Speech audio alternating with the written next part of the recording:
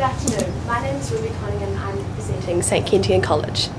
We have come to the conclusion that we, the Reserve Bank of New Zealand, have decided to maintain the current official cash rate at 2.5%. Our decision is made in recognition of the Policy Targets Agreement between the Reserve Bank Governor and the Minister of Finance, whereby the bank should keep future CPI inflation between 1 to 3% over the medium term.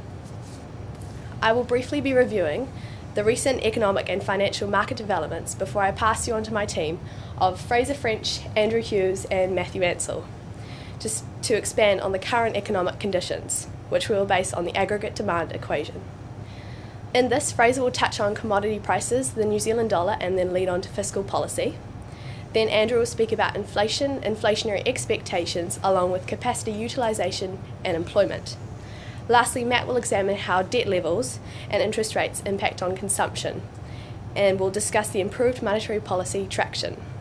I will then return to conclude today's presentation and review the risks involved in keeping the OCR at 2.5%. Recent data has shown domestic growth to be higher than earlier anticipated. Following February's Christchurch earthquake, we have seen an improvement in New Zealand's economic conditions. As you can see, although recent growth has been higher than earlier anticipated, it still remains below the average over the past 20 years. We have seen an increase in inflationary expectations over recent months. Global growth has been weaker than anticipated. There are still major concerns about, the, about economic conditions globally. For example, the major issue confronting Europe is the spiralling debt crisis. The increasing 10 year interest rates shown is a representation of the increasing risks and increasing risks associated with these nations' ability to meet their debt obligations. This highlights the fundamental weaknesses in their respective economies. Also, unemployment in the United States has remained persistently high due to sluggish growth. This is keeping the Federal Reserve's interest rates on hold and contributing to excess capacity in the US economy. New Zealand headli- headline inflation remains persistently high, while uh, above, above the 1 to 3% range, while core inflation is pushing higher. Also, commodity prices remain firm, and there has been continued strength in the New Zealand TWI. Business confidence has remained robust, as shown on this graph. It has been a similar story with consumer confidence. As Ruby said, the New Zealand dollar has continued to strengthen. Strong demand from major trading partners like Australia, China, and other Asian markets has offset stagnant demand from Europe and America. The underperforming European and American economies has seen the New Zealand dollar appreciate against the euro and US dollar. This can be seen here in the TWI chart where we have seen recent increases to highs of 75. This reflects the strength of our New Zealand dollar against our major trading partners. Strong commodity prices will lead to a boost in exporters' incomes, which will boost both rural and urban economies. Commodity prices, as you see here, continue to be high in world terms.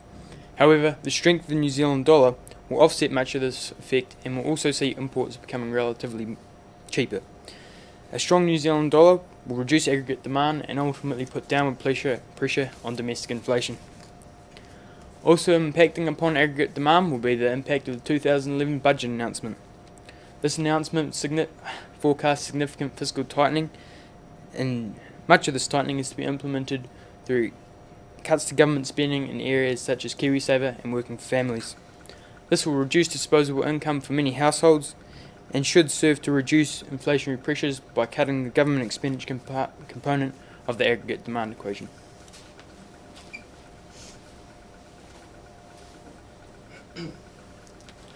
Recent increases in the cost of living for New Zealanders has seen headline inflation exceed the 1 to 3% target band. This increase in headline inflation to above 5% over recent months is largely due to an increase in energy prices and the residual effect of a GST increase to 15% in October of last year. However, the bank's policy target is to keep CPI inflation outcomes between 1 to 3% on average over the medium term. Therefore, we believe that this spike in headline inflation does not require immediate action as, this, as the head, core inflation is expected to remain within this target band. Evidence of further increases in core inflation will need to be addressed with further policy action. Of concern has been the significant increase in forward looking inflation expectations, as you can see over recent, recent times. Should these expectations become entrenched in core medium term inflation, we'll need to counteract these to ensure that core inflation sits comfortably within, between the target band over the medium term. This is one area that we will monitor closely. Reduced demand in the employment market has been observed. We've shown the graph here, which shows unemployment at a high 6.6% in the March 11 quarter. This is despite small improvements in both business and consumer confidence. As a consequence, wage pressures, wage pressures are comfortably contained at around 2% per annum. Decreased demand for residential and commercial properties, shown here by a decrease in housing turnover, means that there is also large spare capacity in the construction market, as less projects are being undertaken. The high unemployment, coupled with the weak housing market, has led to a negative output gap, which you can see here. A negative output gap implies that the economy is not operating at its full potential, and in such market conditions, there is limited pressure on inflation. However, the increase in investment due to the Canterbury earthquake will likely see an increase in AD. However, however, there is evidence to suggest that this reconstruction process could be delayed due to problems with insurance availability. This will delay the rebuild, the onset of increase in AD, and consequent inflationary pressures. But we cannot look at New Zealand in isolation. Recent data from the IMF, as you can see here, shows significant negative output gaps across most global economies. Only emerging Asia at the top is in positive territory. Emerging Asia has provided significant demand for our exports over recent times. This has been positive for our economy, but it also highlights risk should emerging Asian growth begin to slow.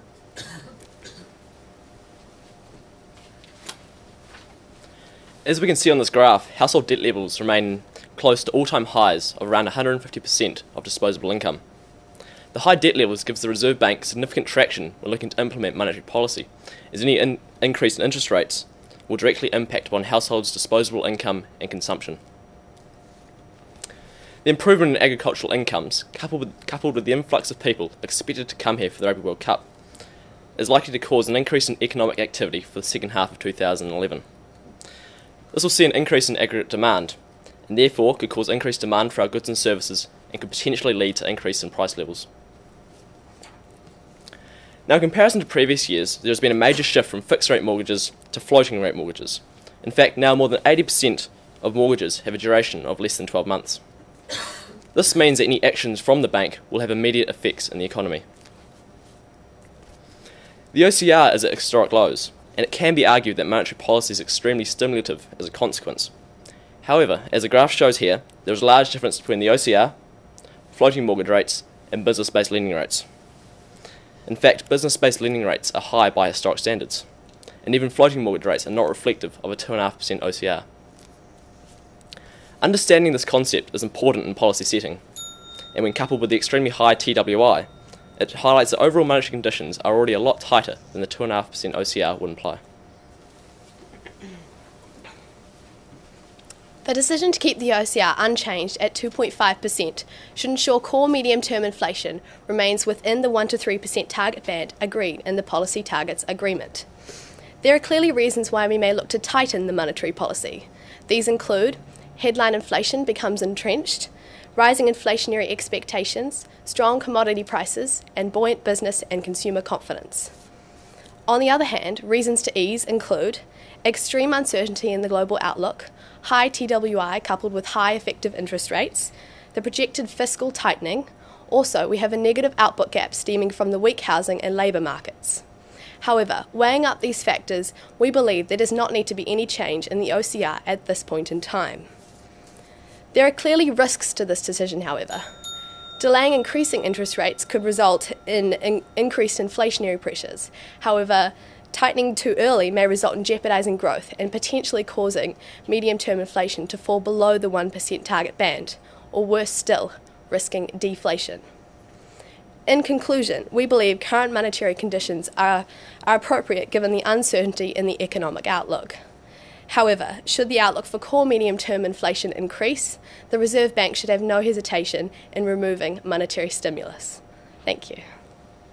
Great. Thank you for your presentation. You can take a seat. Uh, so we've got, we've got 20 minutes of question and answer time now. Uh, so, as in the regionals, we invite you to discuss the answer amongst yourselves first, and then if someone could bring that all together and give us a final answer, that would be great. But also, if you could please speak up, not only so that we can hear you, but so that the microphones can pick you up. Okay. So I'll start things off. How has the financial crisis affected monetary policy in New Zealand? Well, the financial crisis sort of decreasing overall stability in the world, and a lot of investors are a lot more tentative in whether they want to invest in anything or not. Yeah.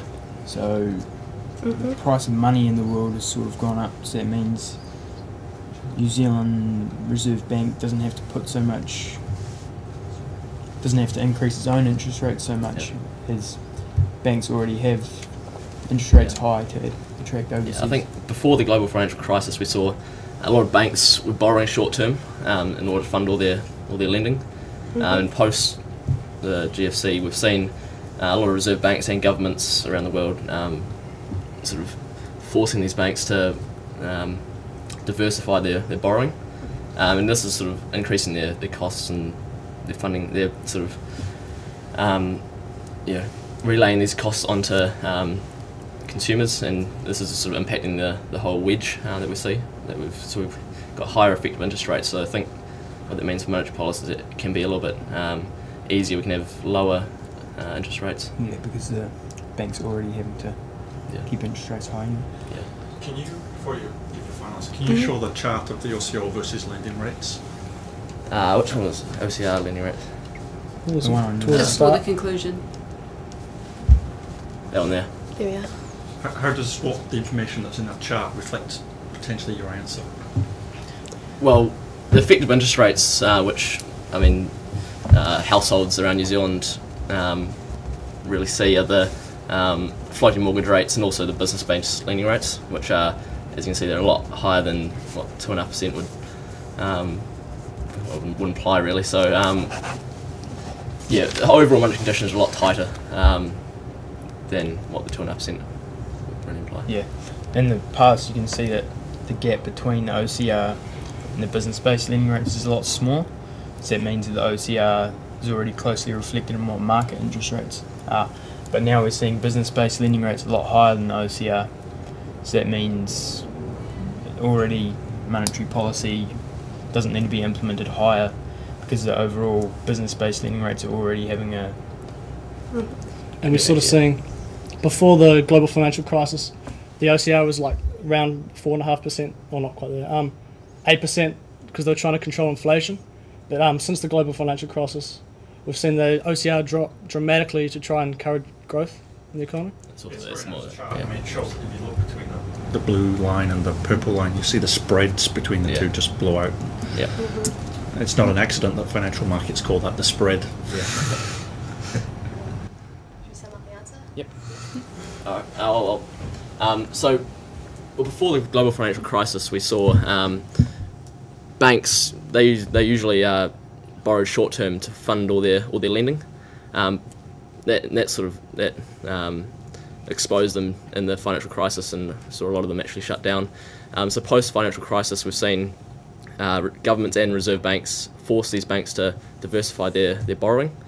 Um, so we've seen an increase in their funding costs, and this is reflected in the effective interest rates which they're passing on to households. And so what this really means for monetary policy is that we can um, be a lot more uh, sort of relaxed and a lot more loose in our monetary policy because these effective interest rates um, are, yes, as you can see, this inflation. controlling inflation are much higher. Great, thank you. Why does the Reserve Bank have an inflation target of between 1 and 3%? What's so special about 1? Well, one three, oh, sorry, one to three percent is, is price stability in the economy. Anything above that doesn't allow for businesses to plan for the future with their investment, and it really decreases our competitiveness in the overseas export market. Yeah, high inflation. We've actually got a graph on that, haven't we? Yeah, we, I've We've- got a, we um, put a graph at the end. at end. the end that which oh, we, what this shows here, um, I'll just talk in here, but um, in the past when we've had inflation or high inflation, um, we've seen that growth's been really unstable. Um, but you see when you get the growth between that one to three percent since was 1992, there um, we've seen you know, pretty sustainable and strong growth. Um, so I think the important thing is about one to three percent and why you wouldn't want. You don't want negative, definitely, because you're risking deflation, which is Mhm. another matter. And then anything ab- sort of above 3%, you're risking an inflationary spiral where prices continue to go up, and that will lead to even greater amounts of inflation. So one to three percent is yeah, s- stable financial conditions, which allows a lot of growth in the Yeah. economy. It's keeping it away from that deflation, possible deflation, because that's quite dangerous in an, in an economy. Because what we've seen, there's no been, there's never been really any real evidence of banks being able to control deflation, Yeah. because you just get into that deflationary spiral, and um, Yeah. yeah. Okay. Mm, Sum it up. I'll do it. Yep. So one to three percent is a price stability in the economy. Anything above is not stimulative for like a Growth. constant growth. Anything below could be risk to a chance of deflation, the deflationary spiral. So one to three percent is price stability. Allows businesses to plan for future investment, and it also keeps us competitive overseas with our exports. Very good. Um, looking at that chart, um, when we had high inflation, the growth rate seemed to be, at least on average, a lot lower. What would cause that? Why would inflation damage the economy? High inflation is obviously making a more volatile business market, so businesses are constantly having to guess what their price is going to be. There's possibility they'll offset investment, which is what's leading to lower. Yeah. Um, consumers don't know whether price is going to go up or going to stay sort of similar, so they're going to possibly go out buy now, causing more inflation not necessarily. Well, if if we're seeing like high inflation, um, it's likely that consumers will see prices to go up, and so yeah, so consumption would increase now, meaning um, disposable income would fall, which isn't necessarily. Um, It's more of a short term.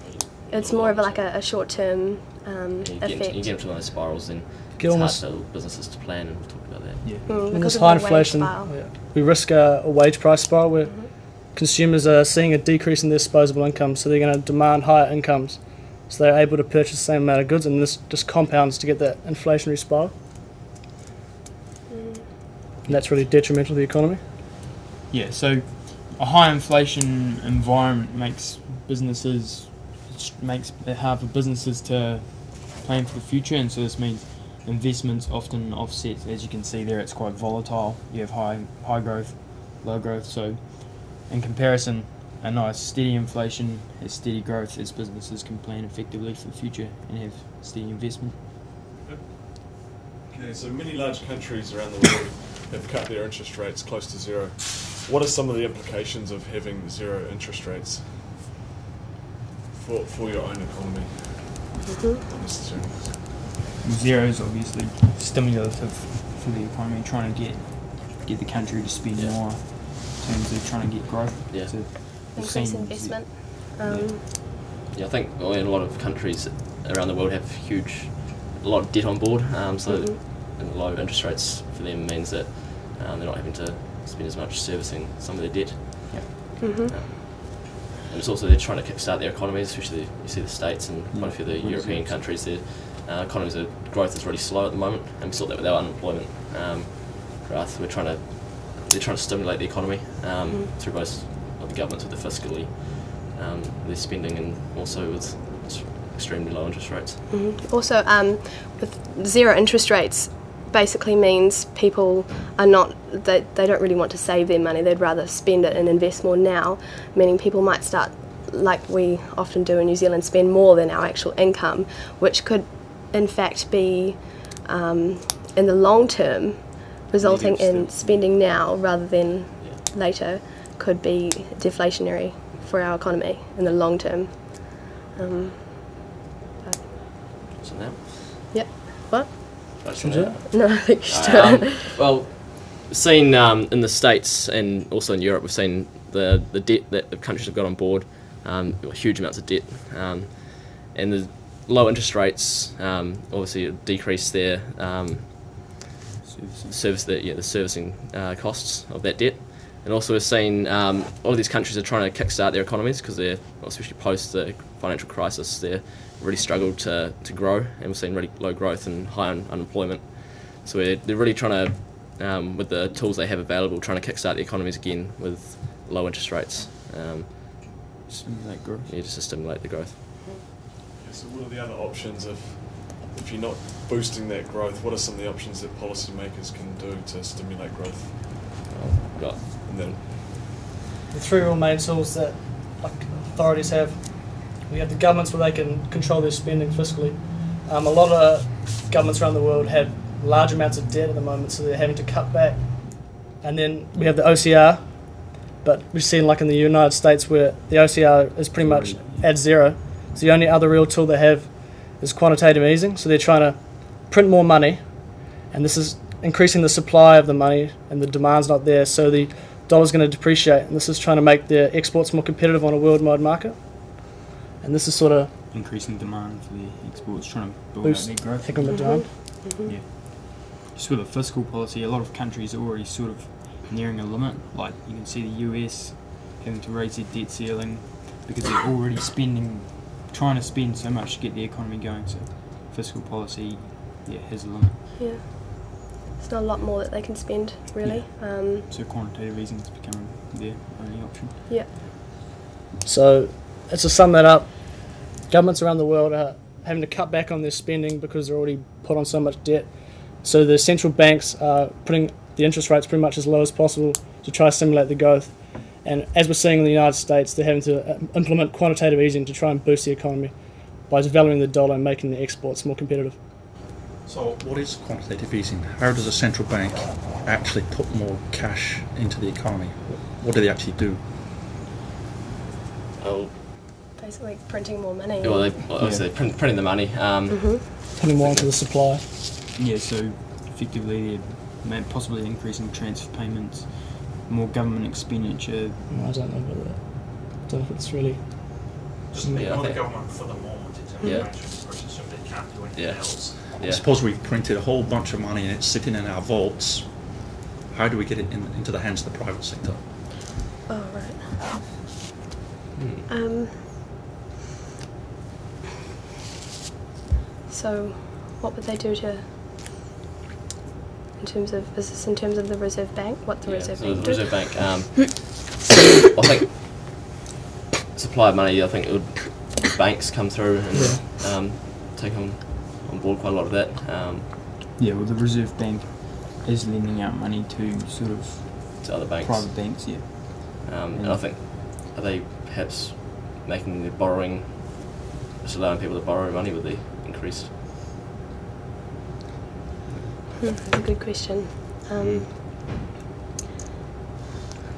I think we're probably not too sure actually. That's it's, sorry. I mean, it's about shifting the balance sheet. So the Reserve Bank has to basically take something off the private sector that it already has, and in exchange give it cash. yeah. Is going to be this is the is the mechanism. Okay. And there's there's various things, but the easiest thing for a central bank to buy is financial assets, whether that be equities or bonds or something. Yeah. Okay. And we'd hold those on our balance sheet and deliver cash. It's okay. It was a reasonably challenging Yeah. question, Oh. so that's okay. Don't don't panic about that.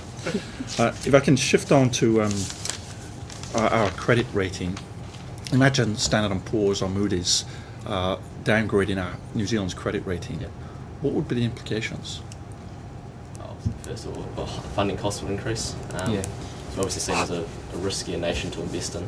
mhm. Um, so we'd say probably see that wedge widening further. Um, Yeah, Mhm. people are gonna people already see New Zealand as a slightly risky. risky country because it's isolated, export reliant.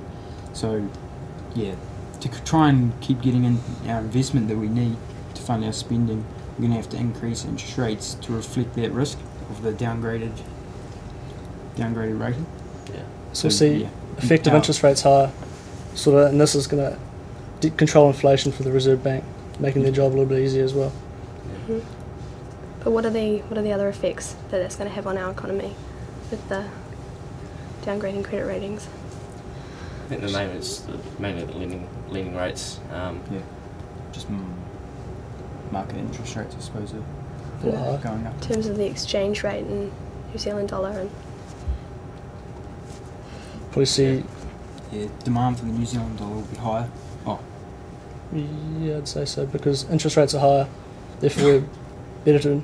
Uh, it could be seen to be better to invest because there's a higher return. However, it could also be seen to be more risky, so yeah, so Yeah, it's going to be I would- sort sort of yeah. I would say it it out. would go down in a way, Yeah. wouldn't it? The New Yeah, Zealand I dollar. think I'll just sort of sum that up. Um, with the, if we saw the New Zealand credit rating um, downgraded, funding costs um, in New Zealand would uh, increase, and we'd see that wedge um, you know, widen further. I think if we link this back to the Reserve Bank, um, it would make the job at the moment a lot easier in terms of that, that sort of controlling the inflation. Um, they can probably keep the interest rates fairly, um, well, like we said, Was that good or bad? Um, Depends. Well, it's, Not I mean, it's probably good for the, probably good for the reserve. Might be good for the reserve bank, actually, but, um, but no, it's not. It No, it's not good. It's not a good thing. Um, having your credit rating downgraded, um, you want it to be a strong, stable economy.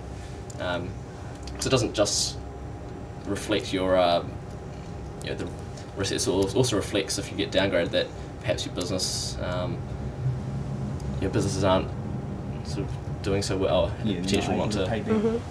do so well. So The only way we could sort of benefit from that is if the um, with it becoming considered more riskier, the New Zealand dollar, the value of the New Zealand dollar, would, well, the exchange rate would fall, causing our exports to be more competitive, yeah. and um, that's sort of how we could. Increasing our. I think overall, I think overall you, you wouldn't Yeah. want, no one really wants a, a downgrading. Keep nice and strong. Yep. Yeah, but there are some offsetting factors Yeah, like yeah. the exchange rate. Yeah. Mhm. Sure. Migration uh, has been declining over the last few months. What do you think are some of the implications of this for the economy and for inflation? So by net migration, do you mean? People leaving or people coming? So more people are leaving than arriving permanently. And you're saying that it's decreasing, or? Did? That's a Net, yes. net Net migration deci- yeah, More so people decrease- leaving. so- So okay. more um, leaving. Yeah. Well, I think it's all about if we're losing some of our, some of our skilled workers moving to Australia, um, which isn't good for our overall growth um, and that side of things. I think if we look at the Rugby World Cup, temporarily we're going to have a, a boost in people that what was it, 80,000 people that are going to be coming over here from overseas. by migration, just to clarify, I'm talking about uh, permanent, Oh, permanent. So not, Oh, not I'm just saying- tourists okay. and things, but people actually moving Right. Yeah. to live elsewhere. Or, yeah. hmm Okay. Um, so basically, we'd start off with if there's more people leaving, we're getting a you know um, demand is falling, Yeah, um, which has that the effect on aggregate demand, Yeah. um, which we can see, and um, causing growth to slow, Yep. which then yeah Yeah, could affect people leaving. take off pressures from inflation and Losing skilled labour. Yeah, seeing money leave the economy. So technically, you could see New Zealand dollar. I suppose it's not a massive factor, but demand for the New Zealand dollar's falling with people leaving the country. So you're going to see the price of the New Zealand dollar falling fractionally. Not So how would that result on interest rates and, and what the, the Reserve Bank would do in terms of monetary policy? Because if we're seeing um, aggregate demand falling, it wouldn't be a, a strong fall, but if it's a consistent decrease in net migration, Yeah. consistently falling. Allow the Reserve Bank to keep the OCR unchanged because we're Yeah. sort of pushing towards the, to the towards the top end of the limit. Yeah. So make less inflation, make the Reserve Bank's job easier because they can keep the OCR unchanged. Yeah. I'd Keep yeah, keep in, uh, inflation relatively under Control. under control. yeah. Um, Yep. but you would have to be careful that doesn't sort of Yep. you know, Yeah. cause anything too much lower than yeah. So to sum that up, we would lose people are leaving the economy, so we're losing consumption, we're losing skilled labour, which will overall decrease AD and reduce growth, and should allow the Reserve Bank to keep the OCR unchanged. Great. That's good. Um, and what would happen to spare capacity in the economy? That would widen, I think. Yeah, I think Yeah. if you're, especially if you're seeing skilled labourers go overseas, you're seeing a lot more. Efficient. Yeah, a lot. There's if people are leaving that are currently occupying jobs, you're going to see a lot more unemployment in the sector, and if we don't have the qualified labourers to fill those gaps, we're seeing. I suppose spare capacity will be increasing because people who could fill those jobs having to be replaced by people possibly less qualified, which means that we're not allocating people to jobs. Yeah, well, it's right. likely that because we're such an isolated country and um, the, the skilled jobs we have here might be in higher demand overseas. Like a lot of people um, may see themselves as being able to get a, a better a better paying, high paying job overseas. So we're seeing a lot of our skilled workers um, leave and le- probably less skilled workers um, come to New place. Zealand. Um, so that's yeah definitely affecting. Yeah, I think spare capacity will be increasing. Yeah. Just a minute. Kind of quickly summarise where we've got to. Okay.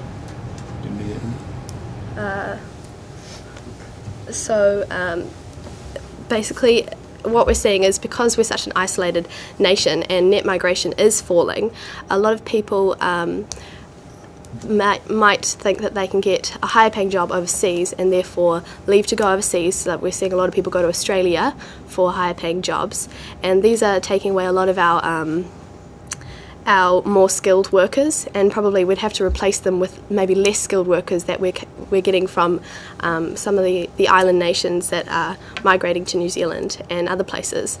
Um, so, in, as a result, um, our spare capacity would be increasing. So, We'll leave it there. That's the last question. We've. You can now relax. okay, thank you.